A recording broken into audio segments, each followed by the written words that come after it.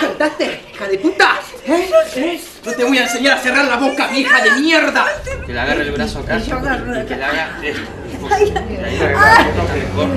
¿Eh? Pero guarda, guarda con esto. Es suave, pero si la agarras a ella, la agarras bien y ella que te agarre bien el coso. Con eso la forcejas un poco.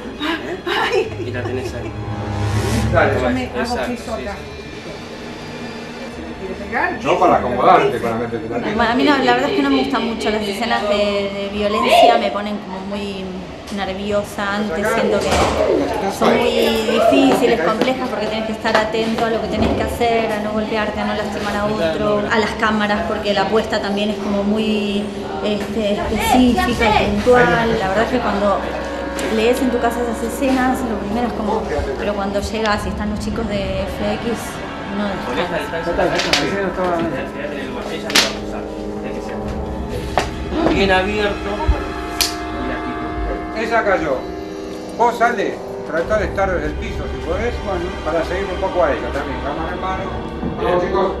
Vamos a Vamos, grabar. vamos.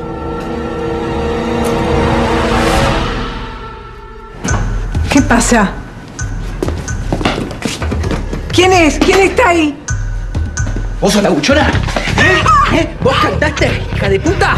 ¿Eh? ¿Eh? No te voy a enseñar a cerrar la boca, vieja de mierda. No voy a soltar un carajo. Te voy a cagar a trompa. Espero que haya quedado buena y que sea creíble.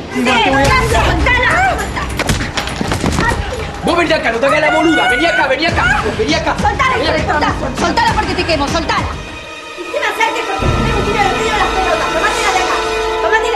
Cuando llegas y están los chicos de FX, no descansa porque eh, sabes que te sentís seguro, te sentís cuidado, te sentís protegido, sentís que no, no van a dejar que, nada, bueno, por supuesto que pueden pasar eh, los accidentes, son, pero ellos están muy atentos y te explican puntualmente las cosas, realmente te da mucha tranquilidad cuando ves que están, es más, preferiría hacerlas con ellos las escenas. Tomátela. Tomátela. Tomátela. Te vas, te vas, te vas, hijo de puta. Eh, Gracias por estar con nosotros, un beso y nada, estamos para cuando quieran.